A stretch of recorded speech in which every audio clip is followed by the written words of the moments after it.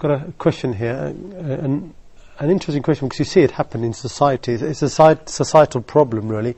So sometimes you see people laughing at other people, and those people don't know. So, for example, somebody's walking by and a group of people are laughing at this person.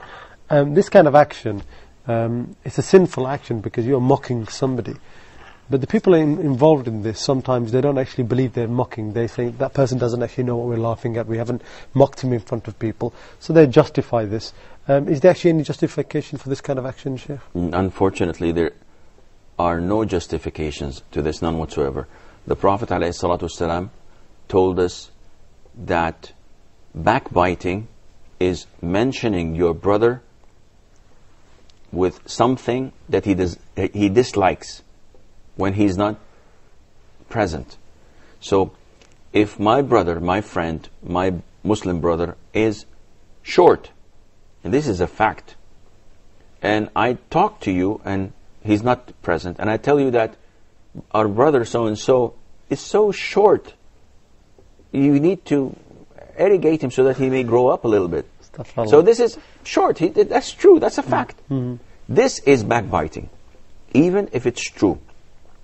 And also the Prophet ﷺ told us that Wu, which is Wail, and Wail is, they say, it's a valley in hell that is so deep and the fluids and, and, and, and the blood running through it. So the Prophet is saying to us that this valley, Wailun, is to those who talk to make others laugh. Wailun lahu, may Wu be to him twice or thrice. So this means that, you know, the, those comics who come and make fun of people, Mm-hmm. they take the biggest portion of this because they're making people laugh on others. And likewise, these people mocking and ridiculing this brother because of his size, his, his, his height, his uh, uh, color, or whatever, even if he does not, if he, because he does not know this, this is backbiting and it is a major sin.